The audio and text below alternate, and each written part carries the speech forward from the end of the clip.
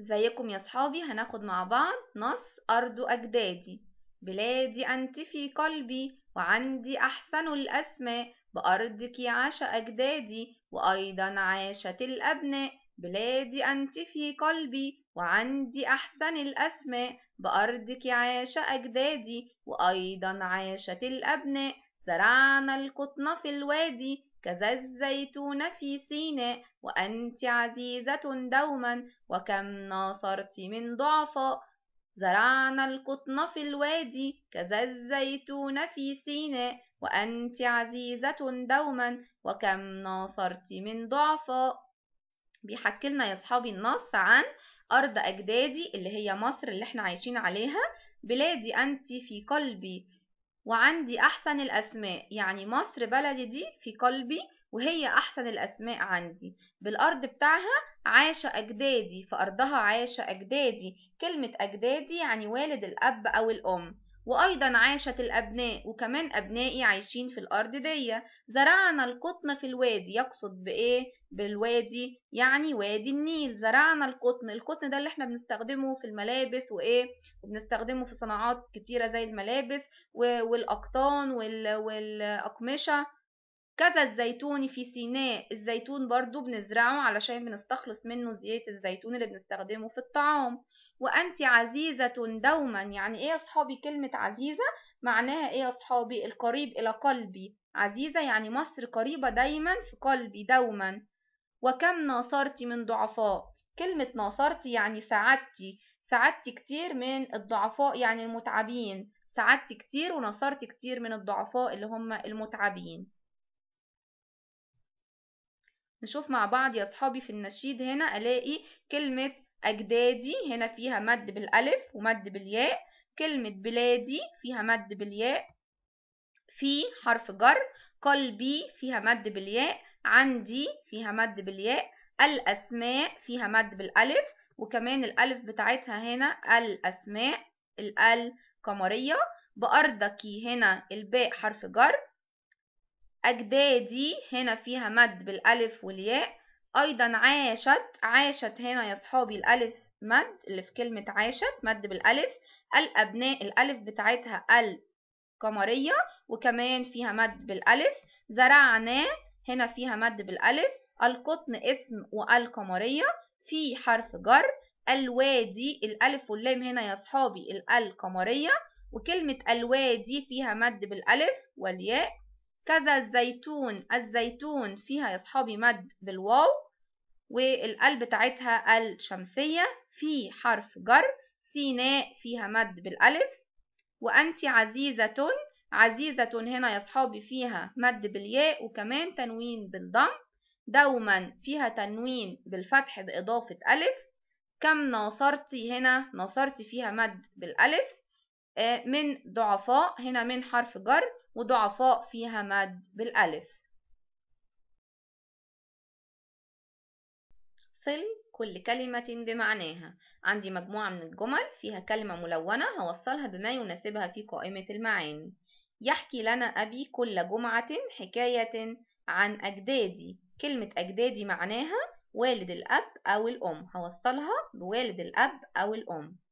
كتبت خطابا إلى صديقي العزيز. معنى كلمة العزيز يعني يا صحابي القريب إلى قلبي. وصلها بألقريب إلى قلبي. ناصرت أخي عندما اختلف مع صديقه. كلمة ناصرت معناها يا صحابي ساعدت. هوصلها بكلمة ساعدت. علينا أن نرحم ونساعد الضعفاء. معنى كلمة الضعفاء يعني المتعبين. هوصلها بكلمة المتعبين.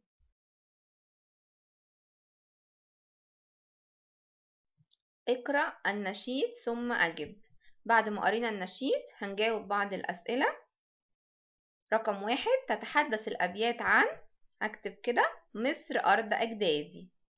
رقم اتنين على أرض مصر عاش مين يا صحابي؟ أجدادي وكمان مين؟ والأبناء.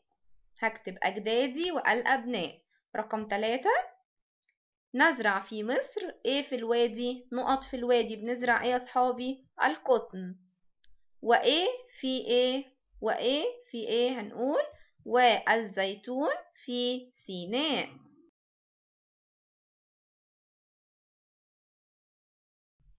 صنف الكلمات في الجدول الآتي. عندي يا أصحابي مجموعة من الكلمات هصنفها في الجدولين اللي عندي ظرف الزمان وظرف المكان.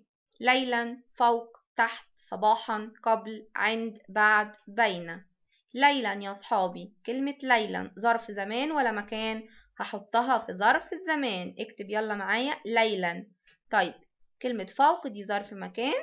تحت صباحا هختار الكلمات اللي ظرف زمان واحطها في ظرف الزمان. صباحا ظرف زمان. طيب قبل ظرف زمان. كمان بعد ظرف زمان. طيب نشوف بقى كلمات ظرف المكان. فوق تحت هكتب يلا فوق تحت. كمان هكتب كلمة عند وكلمة بين. دول ظرف مكان. نراجع مع بعض اللي كتبناهم في ظرف الزمان. ليلا صباحا قبل بعد. اللي كتبناهم في ظرف المكان فوق تحت عند بين. ودي كلمات ظرف المكان. أكمل بالكلمات المناسبة. عندي يا أصحابي مجموعة من الكلمات رمزا نقوشا لقب الجرانيتي. حازت هكمل بالكلمات دي القطعة الموجودة عندي. أجدادنا الفراعنة نحتوا من نقط معابد. نحتوا إيه يا أصحابي؟ نحتوا من الجرانيت معابد. عليها نقط زاهية. عليها نقوشا زاهية. هختار كلمة نقوشا. نقوش زاهية. كانت نقط لحضارة. كانت إيه يا صحابي؟ كانت رمزا. هختار كلمة رمزا. لحضارتي.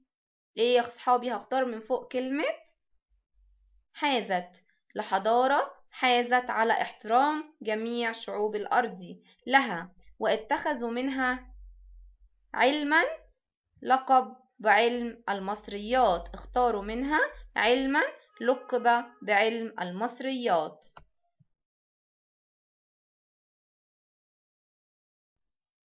اقرأ ثم اختر الإجابة الصحيحة. عندي قطعة يا صحابي وعليها مجموعة من الأسئلة هختار الإجابة الصحيحة.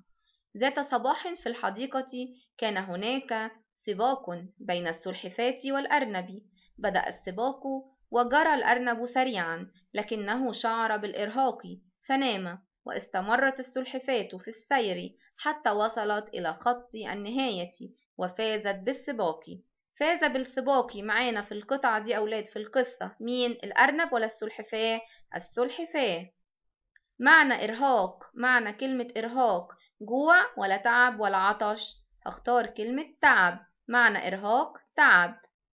أجب عما يلي شخصيات القصة معانا كانت يا صحابي مين؟ ومين السلحفاة والأرنب. مكان القصة كان فين مكان القصة يا صحابي؟ في الحديقة. مكان القصة كان في الحديقة. زمان القصة معايا كان إمتى؟ وقت الحدوث بتاعة القصة دي كان إمتى؟ في الصباح. صباحا.